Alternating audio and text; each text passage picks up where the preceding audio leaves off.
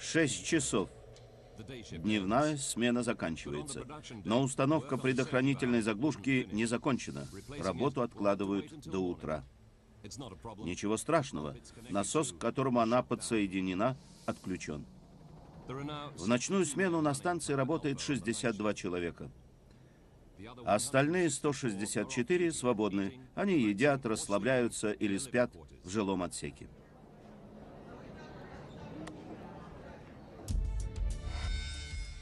9.45 вечера. Внезапно рабочий ритм прерывает сигнал тревоги. Звуковой сигнал привлекает внимание. На световом табло пульсирует надпись «Нарушен режим конденсатного насоса». Конденсатом называют сжиженный нефтяной газ. Это летучее вещество, которое легко воспламеняется.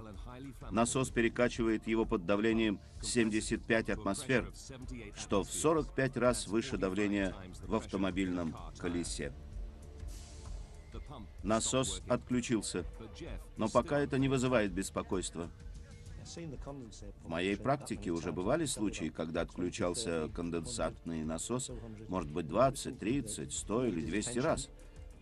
На это следует обратить внимание, но это никогда не было большой проблемой.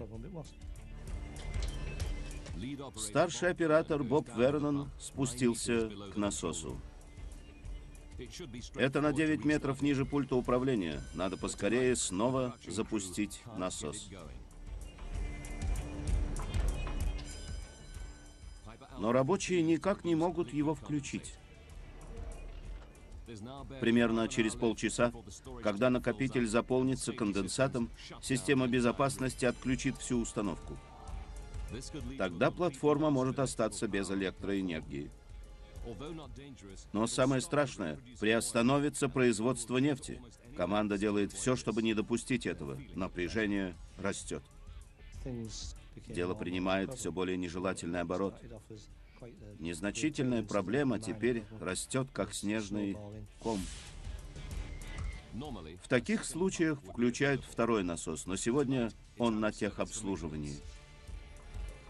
Если удастся его включить, проблема будет решена. Вернон проверяет разрешение на техобслуживание и убеждается, что работа еще не начиналась. Тогда старший оператор дает указание вернуть насос на эксплуатацию.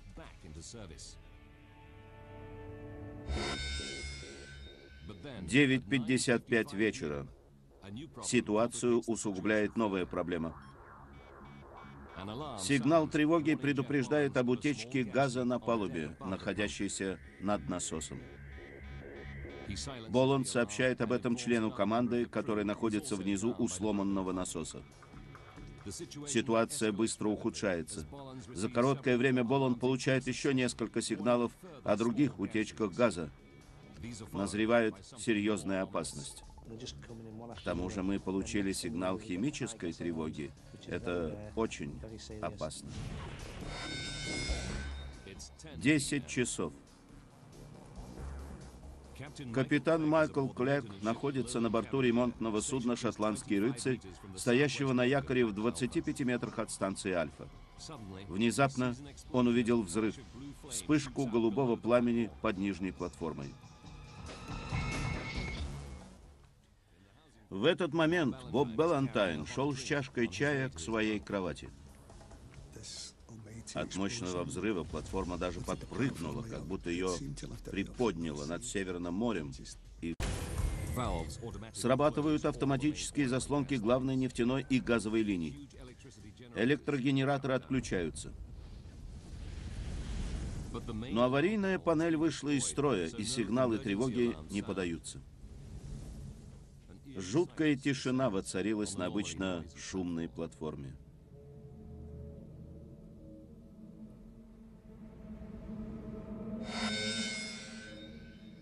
10.05.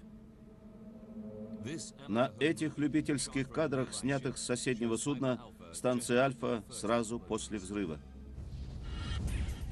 На платформе Джефф Боланс и 20 его коллег оказались в огненно-дымном плену. Они попали в огненную ловушку на высоте 29 метров над водой. Идти некуда, только вниз.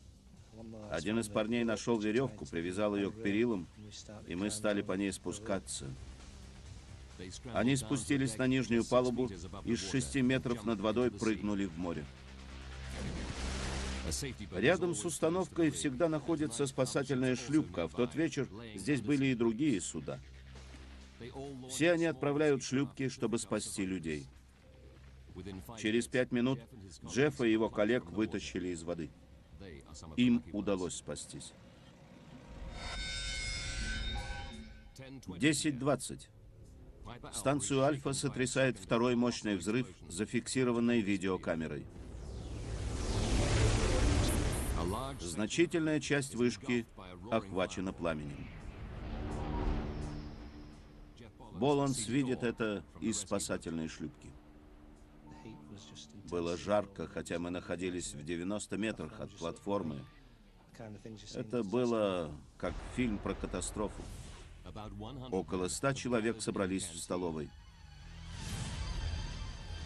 Это один из пунктов сбора в случае аварии, потому что рядом вертолетная площадка. Но они не знают, что вертолетная площадка тоже охвачена пламенем. Вертолет не сможет им помочь.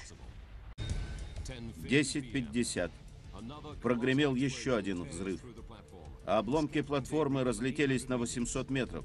Даже суда, находящиеся в полутора километрах, ощутили вибрацию. Огненный шар обрушился на шлюпку Иэна Лесома.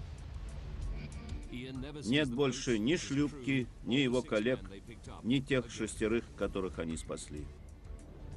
Сам Иэн плывет к опоре платформы, по которой кто-то спускается. Я подплыл к опоре с одной стороны, а этот Боб Валентайн был на другой. Иэн был внизу, и я буквально втянул его на платформу, чтобы рядом кто-то был. Мне это было необходимо. Иэн и Боб держались за конструкцию, платформа дрожала от пожирающего ее огня. Конструкция сотрясалась от взрывов, опора была мощной, мы висели на ней, а она становилась все горячее. Мне уже жгло уши. Иэн и Боб спрыгнули в воду. Из последних сил они плыли к ближайшему судну, и матросы их вытащили. Они были все в ожогах. 11.20. Еще один взрыв сотрясает платформу.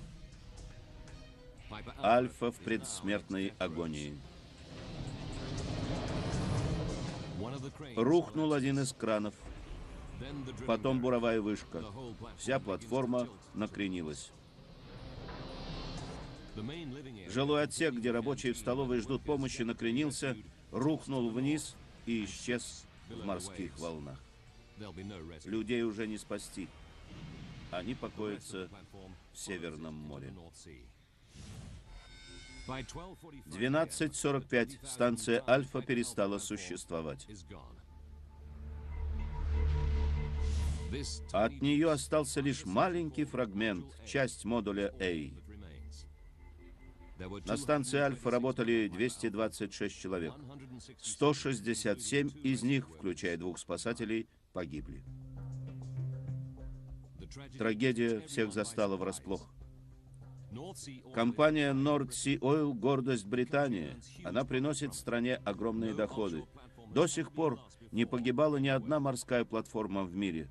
Теперь нефтяники узнали о новой угрозе.